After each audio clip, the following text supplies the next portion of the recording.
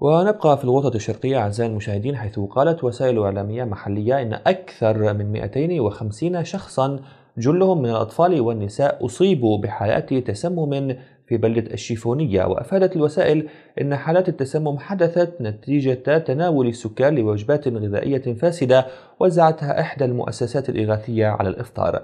ولمزيد من التفاصيل ينضم إلينا عبر سكايب الناطق باسم المكتب الإعلامي لقوى الثورة في دمشق وريفها يوسف البستاني.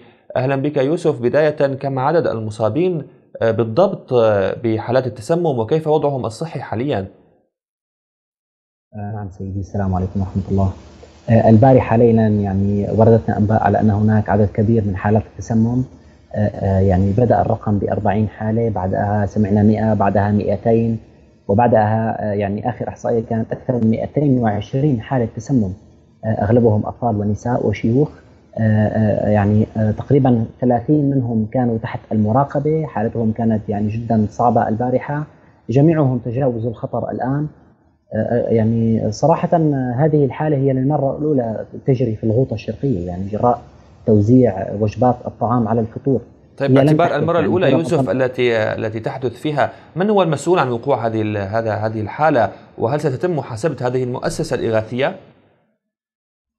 آه للصراحة هناك يعني جهات الآن تحاول يعني معرفة السبب الحقيقي يعني من التسمم إن كان بسبب سوء المواد المستخدمة بالطبخ أو إن كان هناك أسباب لا علاقة لها المؤسسة الإغاثية آه، لصراحة العوامل الجوية التي يعني آه، ارتفاع درجة الحرارة الغير مسبوق كان له الأثر الأكبر على يعني فساد الوجبات الطعام.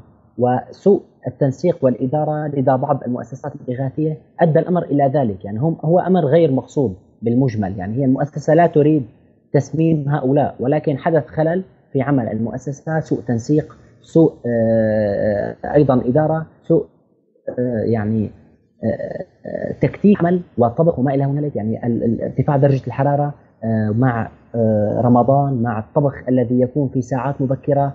نعلم أن يعني هناك صعوبة في الغوطة، الغوطة محرومة من الكهرباء منذ عدة سنوات، لا يمكن حفظ الطعام ولا بأي طريقة. هناك صعوبة بمكان حفظه، فلذلك نتج هذه الحالات من التسمم، يعني في الغوطه هناك آلاف الوجبات توزع يوميا.